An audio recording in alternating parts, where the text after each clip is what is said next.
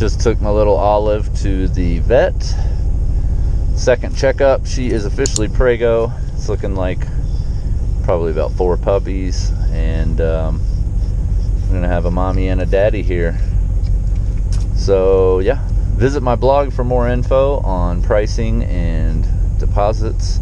They should be out by Thanksgiving, and they should be available by the end of January. So best Christmas present, Valentine's present you can buy. Let me know. Message me for details or comment below.